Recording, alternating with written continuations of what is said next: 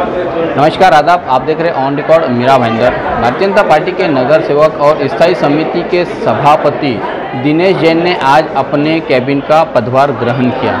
हालाँकि इस पदभार ग्रहण के दौरान पूर्व विधायक नरेंद्र मेहता के हाथों वो इनोग्रेशन करने वाले थे, लेकिन किसी व्यस्त काम के चलते वो मीरा भाईंदर शहर में नहीं थे।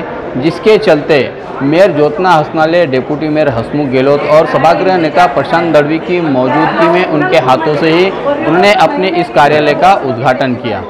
उन्हें बधाइयाँ देने के लिए सैकड़ों भारतीय जनता पार्टी के कार्यकर्ता, पदाधिकारी, नगर सेवक मौजूद रहे।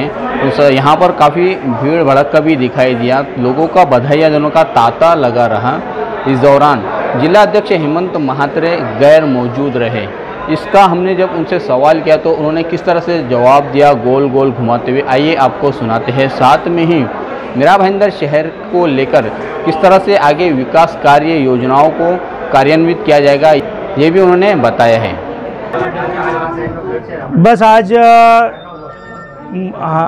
एक मार्च से मेरा कार्यकाल शुरू हो गया था तो इसके लिए मैंने आज तीन तारीख को अच्छा दिन था, इसके लिए आज पदभरण समारोह कर लिया है।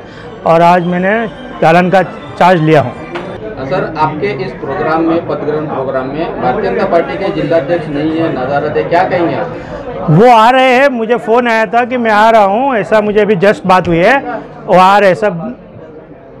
क्या आपकी रूपरेखा रहेगी शहर के विकास को लेकर क्या आपने अब तक मोनोपोली बनी हुई अभी जो मैं बजट अभी जो बनाने वाले हम मार्च में, उसके अंदर, जैसे मीरा भाईंदर के अंदर जो जो कार्य बाकी है, क्योंकि गए साल कोरोना का पीरियड गया, उसमें कुछ काम नहीं हुए हैं। तो जो पेंडिंग काम है, उसको भी करना है और आने वाले जो काम है, उसको भी ध्यान में रखते हुए इस साल का बहुत अच्छा बजट बनाया जाएगा और फिर उसके बारे में आपको विगतवार बताऊँगा।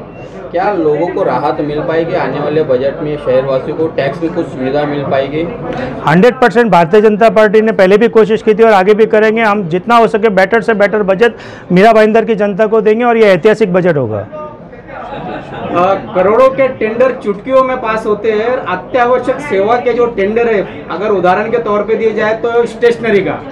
वो लटक जाता है जिससे लोगों को जन्म मृत्यु के दाखिले नहीं मिल रहे स्टेशनरी ना होने की वजह से। तो ऐसे टेंडरों के बारे में क्या कहेंगे आप? सर मैं जितना हो सकेगा प्रशासन के माध्यम से उनको बुला के माहिती लेके ज़्यादा से ज़्यादा जो अगर कुछ त्रुटि है तो उसको सुधारने की भी कोशिश करूँगा और आगे अच्छे से अच्छा कैसा अपन सब डिपार्टमेंट का काम किया जाए उसका भी ध्यान रखा जाएगा। ये थे दिनेश जैन जो नरेंद्र मेहता के करीबी माने जाते हैं और यही उनका फ़ायदा हुआ है कि आज वो सभापति बने हुए हैं। सबसे मलाईदार पोस्ट पर उन्हें आज विराजमान किया गया है नरेंद्र मेहता द्वारा। इस तरह की चर्चाएँ भी मीरा भाईंदर शहर में शुरू हो चुकी है। आप देख रहे हैं आरिफ कुरेशी और साबिर शेख के साथ ऑन रिकॉर्ड मीरा भाईंदर, धन्यवाद।